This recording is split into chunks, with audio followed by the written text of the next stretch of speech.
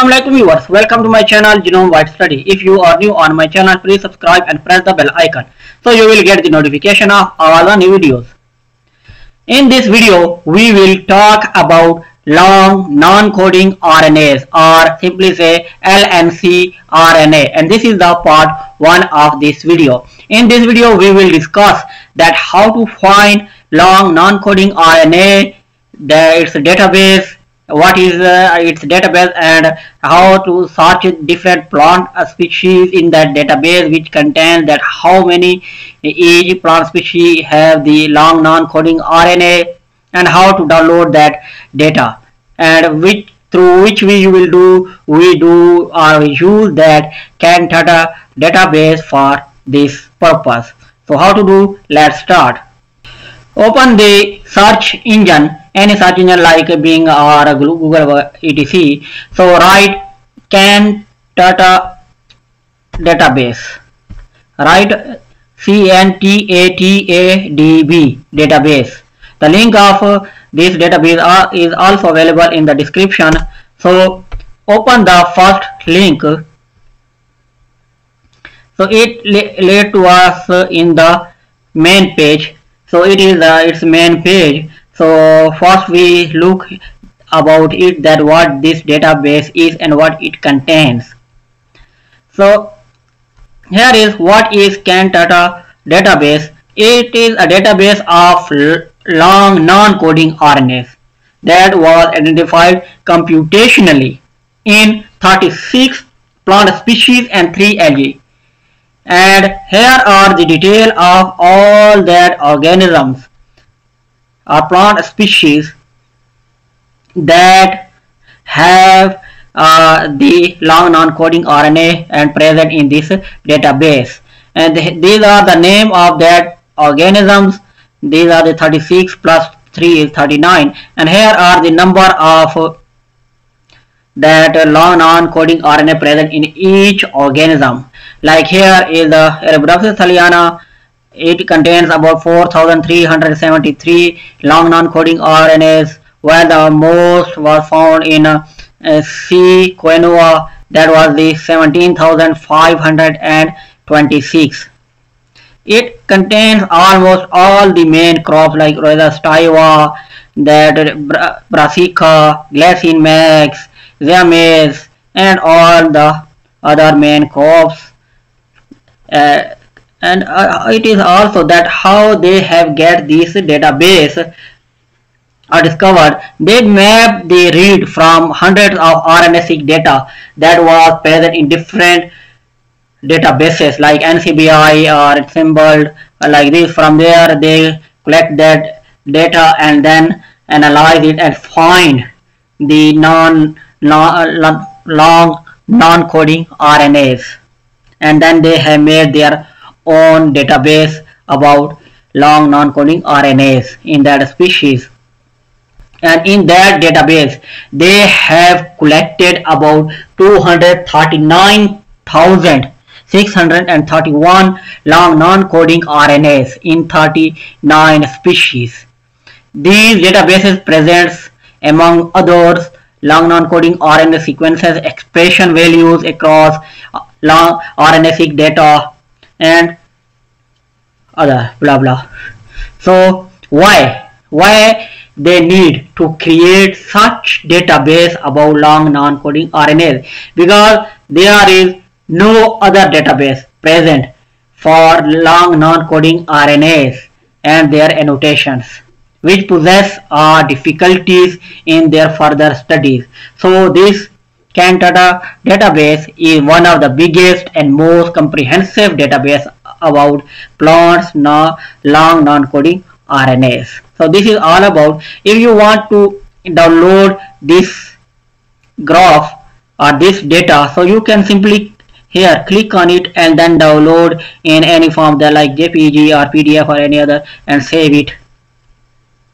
Now if you want to search the specific long non-coding RNA in your organism. So go to the search and here you can select your species, any species that you want to, uh, you, which you are working. For example, I am uh, working on a Glycine max.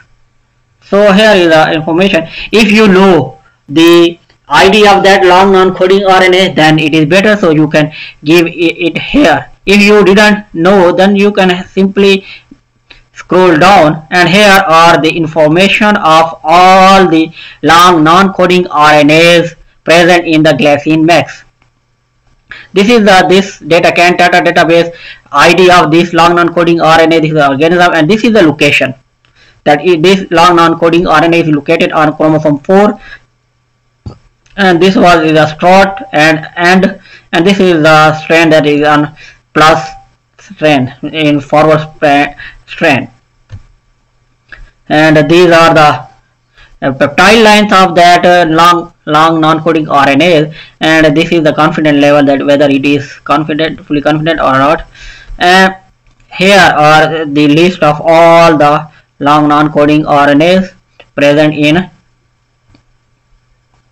glycine max so there are about 51 51 pages which contain the list of that long non-coding RNAs in glycine max and uh, you can also find another. And if you want to check the information of this long non-coding RNA that what is this so you can click on detail. So here are the information of this long non-coding RNA so this is the expression level of this long non-coding RNA and these are the different sources the SRR data that was submitted in the NCBI or any other database and from there they have uh, collected this uh, the information of this uh, long non-coding RNA and these are the expression level uh, of this long non-coding RNA in these different databases. So here you can click on it and then also you can download it. And if you want to check the information of this uh, uh, database that either it is present or not or in which uh, it is used. So you can simply go to the NCBI and here you can select the SRR SRA and here write that uh, expression that if you want to check this one that uh, is uh, SRR 3680 387 SRR 36 80 387 SRR SRR 36 80 387 so click on search. So here is the information of that uh, the information of that study from where this long non-coding RNA was extracted so here is the study that large scale analysis of soybean embryonic axes in five time point during germination. And this uh, data or sequencing was done through Illumina HiSeq throughput. And uh, these are the other information you can found it. These are the protocol. cDNA paired if you can get the other information so you can go inside and then found all this experiment uh, information this is the other information. So this this the information about this long non-coding RNA was get from this study. So you can also download it. Sorry. You can also download this expression data from uh, clicking here and download in JPG or any other. If you come below so this is the sequence of this long non-coding RNA so you can save it and then you can use it in your study.